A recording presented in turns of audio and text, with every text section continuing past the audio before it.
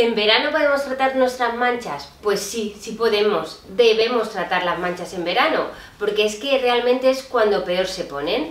Entonces, tenemos que buscar alternativas porque es cierto que uno de los principios activos que más usamos, que es el retinol para las manchas, en verano os da miedo a vosotros ponéroslo. Y a mí reconozco que también me da un, poco de miedo que os lo pongáis. ¿Por qué?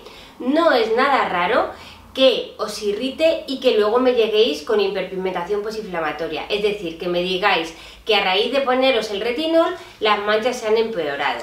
Eso es un efecto temporal, pero a ver, no queremos que ocurra porque vosotras os amargáis un montón y yo con vosotras.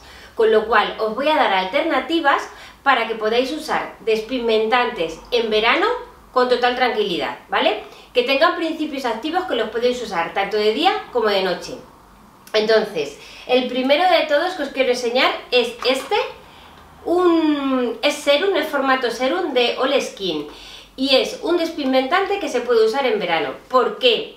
Aunque lleve una pizquinina de retinol, es un retinol muy suave que está especialmente formulado, lleva niacinamida, lleva un poquito de cógico, pero lleva bastantes sustancias antiinflamatorias e hidratantes como para daros 100% tranquilidad en verano.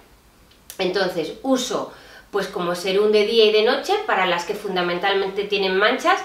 Daros cuenta que los principios activos que os he mencionado no solo os van a hacer un efecto anti-mancha, sino también un poquito antiedad, con lo cual el beneficio lo vais a notar en más aspectos.